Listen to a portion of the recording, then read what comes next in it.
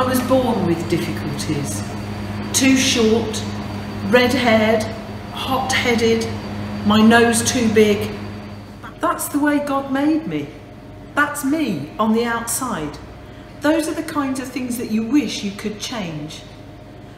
But there are things inside a person that need to change. And I'm here to tell you, God can change you from the inside out. I know what I'm talking about. God changed me all right, changed my life, changed my job, changed my attitudes, changed my spirit, even changed my name. You think it was easy for me, letting God change me like that? It wasn't easy at all. God put me in for a tough time. Five times I got the lash for preaching the gospel, 39 strokes each time. Three times I was beaten with rods. Once I was stoned. Three times shipwrecked, in danger from rivers, robbers, my own people. I was sick most of my life. I came to call it my thorn in my flesh. The doctors never did figure out what it was.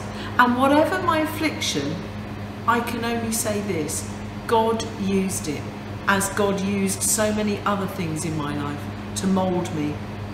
I think God needed to make me humble, slow me down a bit, give me a bit of humility.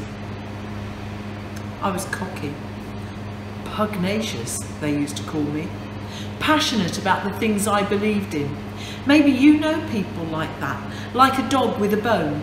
We get an idea, a cause in our minds and hearts, and then nothing will stop us People like us don't listen very well. We have preconceived ideas. But we make great workers. We work at our cause for no reward save the cause itself, and we make great missionaries. I was a missionary for and against the same cause, bizarrely.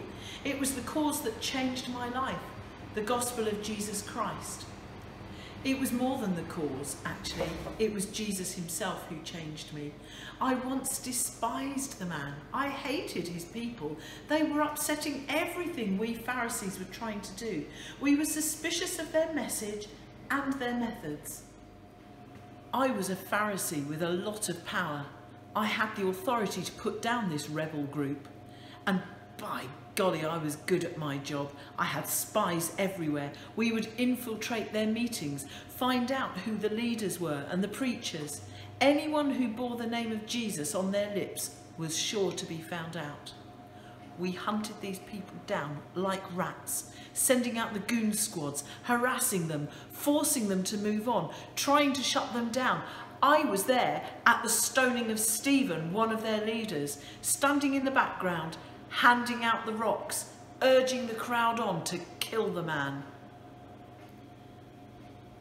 I'm here to admit that, and I do so with shame. But I sit here a different man from the one I once was. The man who persecuted the Christians had the name of Saul. The man who sits here before you now is named Paul. I didn't change my name. God changed my name at the same time as changing my heart. I was on my way to Damascus with the goons. We were to round up some troublemaking Christians and bring them to justice. And then it happened. It was about noon. I don't really know what happened, but suddenly I was knocked flat on my back by a blaze of light, and out of the light came a voice. It called me by name. Saul, Saul, why are you out to get me? I couldn't see, but I could hear, and I cried out to the voice, Who are you? And the voice came back to me again and said, I am Jesus of Nazareth, the one you are persecuting. I want you on my side. No. How could this be? How could Jesus talk to me? He was dead. And I was trying to kill off his followers, the poor misguided fools. What in God's name was going on? My friends heard the voice too, but they couldn't see anyone. They took me by the hand and we finished the trip to Damascus. For three days I was as blind as a bat, Finally, a man named Ananias came for me. He was one of the leaders of the Christians in Damascus, a man I was out to get. He told me later that Jesus had called him in a vision to go and get me. And Ananias was none too pleased with this prospect. I was the last person he would want to associate with.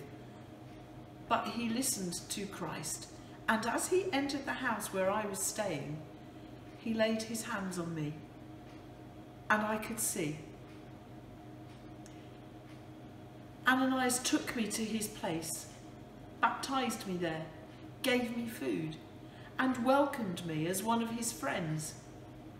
He did one of the bravest and most foolish things he could have done, an act of pure faith. Because of him, no, because of Christ working through him, I am a new person. From that time on, I was never the same. My personality, however, did not change.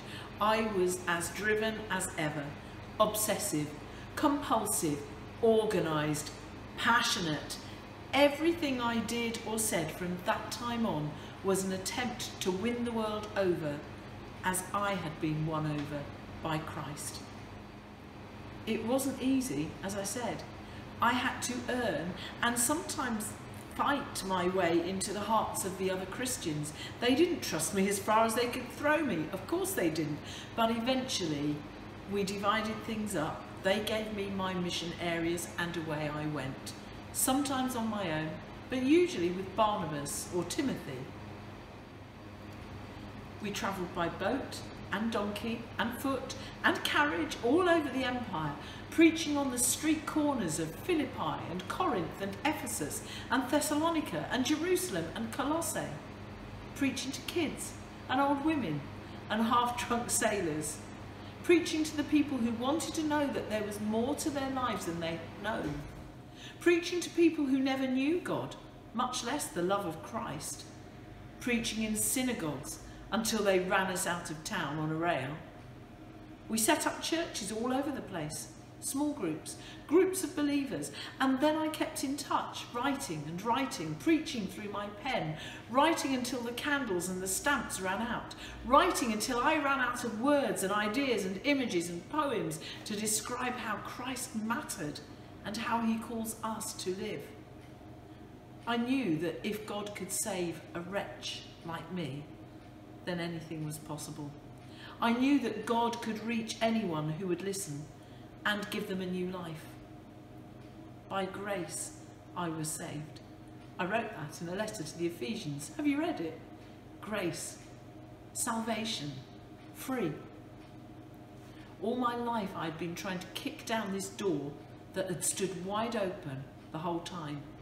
All my life I had been running from a God who was trying to run towards me. Jesus had been calling me, but I couldn't hear his voice above my own. It wasn't easy for me. All the others I worked with, nobody ever said following Christ was going to be easy. The tough times do not always go away. If you feel like the world has worn you down, I know how you feel. Believe me, I've been there. I've been depressed to the point where I didn't know if I could even get up in the morning. I've seen church fights like you have never imagined and wondered if these people could ever find a peaceable way of being the body of Christ again. But let me tell you one thing that I told the Romans 2,000 years ago. They weren't having an easy time. And so I put the story of my life in a couple of sentences to them. Who shall separate us from the love of Christ? Shall tribulation, or distress, or persecution, or famine, or nakedness, or peril, or sword? That's the groundwork for a lot of our lives. And if that was all there was to say, then we have nothing worth holding on to. Is that all there is? But no, I wrote that word so hard I broke the tip off my pencil. No, in all these things we are more than conquerors through him who loved us. For I am sure, sure, that neither death, nor life, nor angels, nor rulers, nor things present, nor things to come, nor powers, nor height, nor depth, nor anything else in all creation shall be able to separate us from the love of God in Christ Jesus our Lord.